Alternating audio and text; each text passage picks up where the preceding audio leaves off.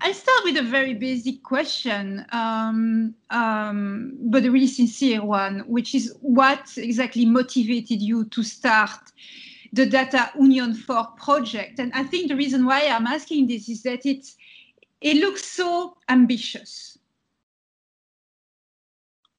It is massively ambitious, uh, uh, and it was originally started as Data Union project, as an idea that I have talked about with um, Simon Crab and Amit Rai, Dr. Amit Rai, back in 2012 13. It was um, kind of right after um, Edward Snowden pushed out um, and leaked out all the information about surveillance and various uh, American and and UK based su- surveillance of, of mass mass digital surveillance of population.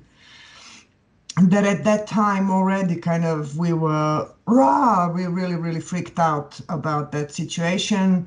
Um, and at the same time working in the in the field of kind of digital related arts and, and, and design or computer related arts and design, um, we could already uh, um, see the, the, the move towards what is now known as surveillance capitalism. So all these kind of data collecting platforms, which were just so, so, so deeply hidden, but also really very obviously creating a complete asymmetry of power in between individual and the platforms, whether they are uh, publicly run and owned or, or, or, commercially or privately run and owned. Um, in both cases, it was very obvious lack of uh, um, lack of equality, lack, lack of uh, uh, uh symmetry in the power.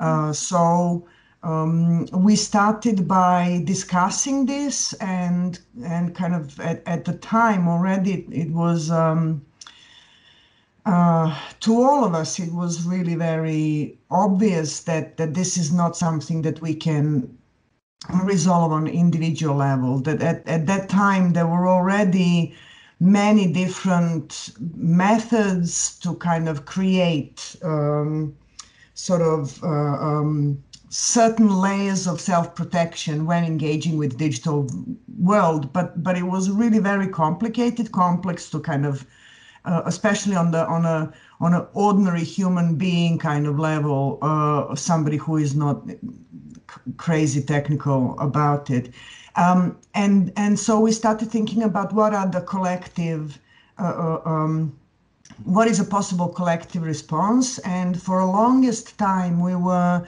um, uh, discussing and thinking about various uh, various activities and kind of behavioral changes, which we called information tactics back, back in the day, and kind of how you as a, as a, as a small group of people can come together and organize and kind of exchange um, uh, kind of kind of uh, start applying various practices to obfuscate to kind of to kind of uh, uh um, uh, confuse the data collecting and data extraction platforms. So that was back in 2012, 13, 14. Um, and then uh, um, and then in 2018, I saw STARTS Residencies call uh, for for uh, proposals uh, for various IT projects, and I was uh, I found out that Decode project um, a very large EU-funded project led by Francesca Bria, um, mm. was looking for artistic partners and uh, to kind of explore further and kind of uh, add a little more to what they're already doing. Uh, and I thought when I saw um, proposal for an operating system, which is based on, on one hand, cryptographic set of set of uh, uh, uh rules and also developments, but also is related to blockchain based kind of decentralized an attempt to decentralize and by by decentralizing by by using decentralized technologies deal with, with the fact that we are now in the Web point two in this centralized, completely centralized uh, uh um, way in, the, in, in, in between, uh, um, within which we kind of exchange uh, both communicate and exchange information about ourselves and, and, and do our daily lives.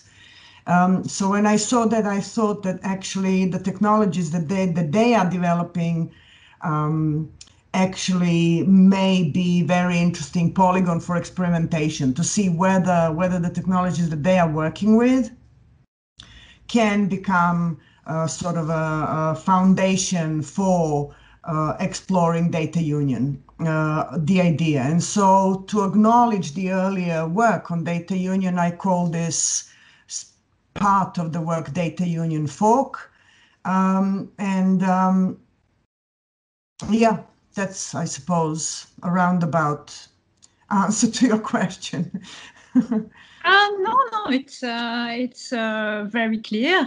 The, the the other question I, I have is that do you think there is enough awareness or even interest about the way our data is exploited and, and more generally enough interest about data you know, ownership because I have the feeling that you know people read about it in the newspaper, but in the end they don't really care so much about having agency and control over the, their data. I'm not even sure this is something that is really well understood. Uh, and I have uh, maybe I'm a bit cruel uh, towards uh, fellow citizens, but I have the feeling that for most people, they would rather keep enjoying the convenience that Google, that Amazon, that Facebook, and, and other platforms are offer, rather than you know spending time looking into the issue. yeah, well, I have um, I have kind of uh, um, I think that there is evidence to to support both of both of these positions. Excuse me. I've seen since 2012-13, I've seen definite increase in people's awareness um, uh, of, of all of these practices. Uh, there, there, there still has to be a lot of education done, and and I salute all my friends and colleagues out there, there are organizations who are with a long-term commitment um, to um, kind of expose all of these practices, such as Tactical Tech Collective and uh, Privacy International, and there are there are individual artists as well. Many many amazing projects. Uh, um, but there there still needs to be more and more more and more education obviously the like the um, legislation changes wouldn't have happened without some consistent education. So things like gdpr wouldn't have happened if if there was no public debate about these things. So so like a full um my my uh, i suppose um position on this is that there has to be a long-term commitment to full education of of of um, uh, wider population. uh, and simultaneously combined with um, efforts in software development, efforts which are based on um, kind of uh, uh, and and within computer science efforts which are based on ethical uh, uh, development of ethical software and critical engagement with with technologies.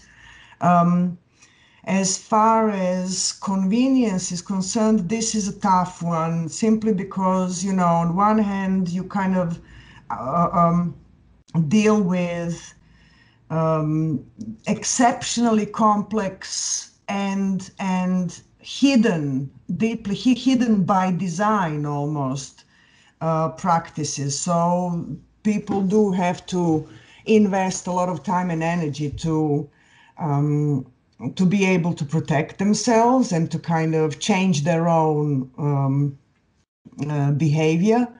And so we just need to kind of uh, sit with it and continue uh, with full commitment to slowly but surely help people move from from known platforms which are known known uh, for for abuses and for data extraction you know you can now see so many examples like uh, whatsapp we, we we know all about the new introduction of WhatsApp terms and conditions, which are going to, I think, come to power tomorrow.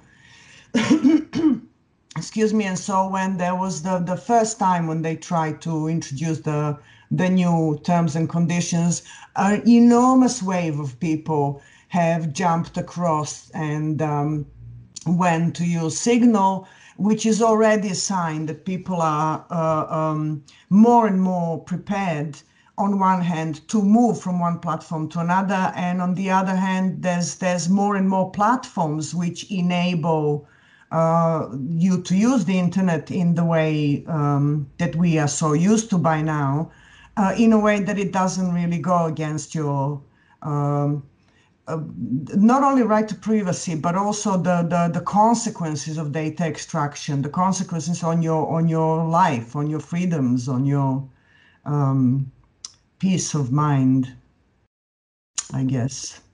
I think uh, this is really, a, for me, it's a wonderful answer because I had the feeling, you know, oh, you know, I'm in my little bubble, I'm in contact with all these really wonderful, very critical artists.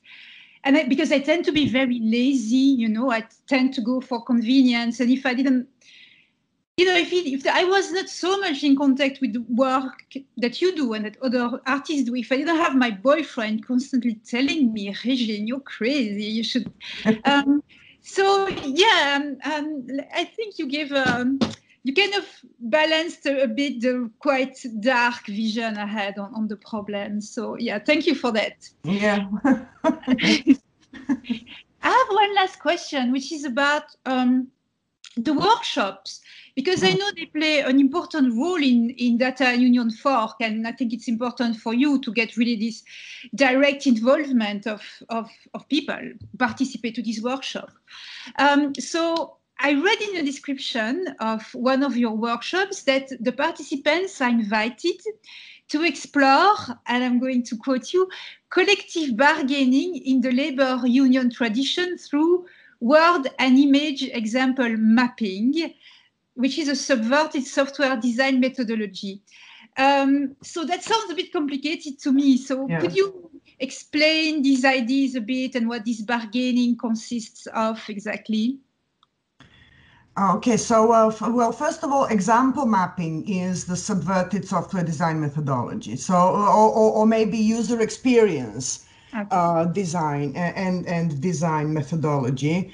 Um, and uh, when when I was um, researching and develop, de- developing the whole data union fork, um, I kept on feeling really strongly about particip- participation or general public participation because I didn't feel or didn't think it's it's it's useful to pursue my my single single kind of angle uh, um, in in the development uh, of the project. I really wanted a pub- publicly public discussion about what is um, what can we do about all of the all of the issues that we are faced with in in relation to personal data and so because it was uh, uh, um, based on this labor union tradition, the whole idea, uh, as as um, as people from from Dyne.org would say, a well-tried social method.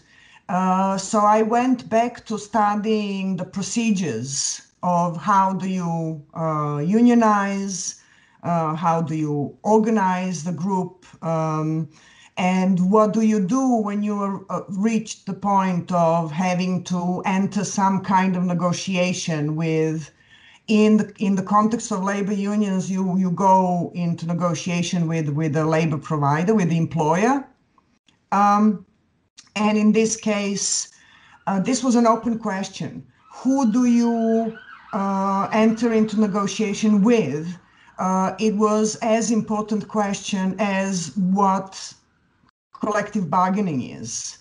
Um, or what is example mapping, all of these things. So collective bargaining and example mapping were ways to really open up the questions of how do we engage with big platform data extraction.